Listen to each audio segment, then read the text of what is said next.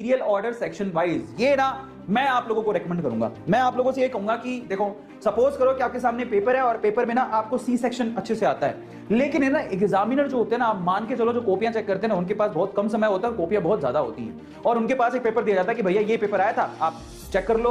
अब क्या ना, उसका दिमाग घूम जाएगा, अगर मान लो आपने सी सेक्शन को पहले कर लिया। तो वो तो पेपर में देखेगा, ये सवाल है तुमने कुछ और ही लिखा हुआ इतना समय नहीं होता उसके पास। वो समय नहीं है इसके पास कि वो चेक करेगा। बेटर है कि और ये बहुत इंपॉर्टेंट एक्सरसाइज है, आप लोग ध्यान रखना है। आप पहले सेक्शन ए को, और मान लो उसमें पहला सवाल नहीं आता, जगह छोड़ दो। लेकिन प्लीज़ आप सेक्शन को मेंटेन करते हुए चलो। सेक्शन ए फिर बी फिर सी प्लीज़ ज़्यादा फेरबदल मत करो। मैं होशियारी झाड़ के, मैं तो सी सेक्शन को पहले लिखूँगा। उस चक्कर में तुम्हारे को प्रॉब्लम भी हो सकती है।